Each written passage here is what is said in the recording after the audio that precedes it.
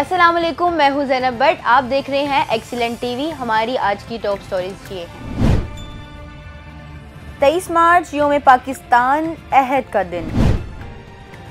تیئیس مارچ پہ طلبہ کا قائد اعظم محمد علی جناح رحمۃ اللہ علیہ کو محبت برا پیغام۔ پاکستان کے اسپیشل کھلاڑی اولمپکس میں چھا گئے۔ پاکستانی قوم ہمسایہ ممالک سے کئی گنا زیادہ خوش ترین قوم۔ تیئیس مارچ انیس سو چالیس، آپ کا دن، ہمارا دن، ہم سب کا دن۔ تیئیس مارچ انیس سو چالیس کو منٹو پارک میں مسلمانوں کے عظیم رہنما قائد اعظم محمد علی جناح کی کال پر برصغیر پاک و ہند کے مسلمان ایک جان ہو کر جمع ہوئے۔ اس روز عہد و پیمان کیے گئے، طے پایا مسلمان اپنا الگ ملک بنائیں گے، سب نے قائد اعظم محمد علی جناح کے پیغام پر لبیک کہا، جو انگریز تراسی سال سے قابض ہوئے ہوئے تھے اور جانے کا نام نہیں لے رہے تھے۔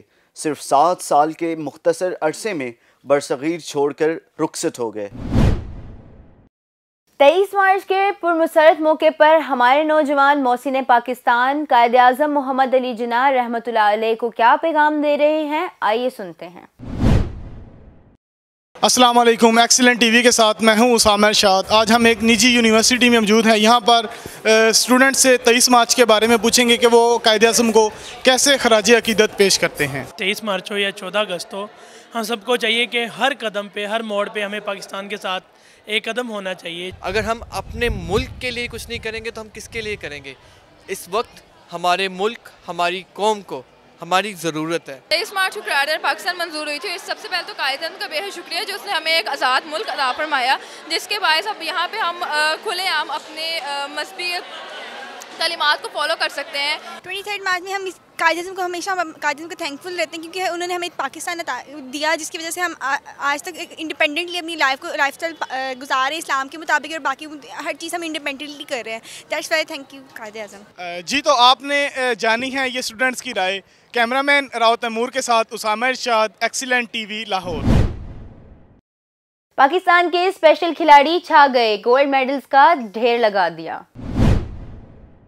پاکستان کے اسپیشل کھلاڑیوں نے ورلڈ اسپیشل اولمپک میں کمال کر دیا۔ گیارہ گولڈ میڈل گیارہ سلور اور گیارہ ہی برونز میڈل سمیٹ لیے۔ ٹیم ایکسیلنٹ پاکستانی اسپیشل کھلاڑیوں کو ان کی صلاحیتوں کو ہمت نہ ہار کر مسلسل محنت کرتے جانا پہ سلام کرتی ہے۔